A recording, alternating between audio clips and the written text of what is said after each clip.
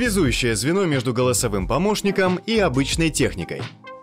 В этом видео распакуем умный пульт от Яндекса. В комплекте с пультом кабель питания micro-USB и документация. Внешнее устройство напоминает глянцевую шайбу. С обратной стороны есть прорезь для кабеля питания и кнопка, которая потребуется при первом подключении. В пульт встроен инфракрасный датчик, который отправляет сигналы устройствам на все 360 градусов. Это может быть телевизор, кондиционер, мультимедийный центр и прочие девайсы. Идея в том, что вы отдаете команду голосовому помощнику Алисе, а она через пульт управляет вашей техникой. Для связи с ассистентом пульт использует Wi-Fi, но только на частоте 2,5 ГГц. Сети 5 ГГц не поддерживаются. Подведем итог. Такой пульт необходим, чтобы связать голосового ассистента и старую технику с инфракрасным датчиком. Но учтите, что в комплекте нет адаптера питания для подключения пульта к розетке, и длины комплектного кабеля может не хватить, чтобы максимально удобно расположить пульт.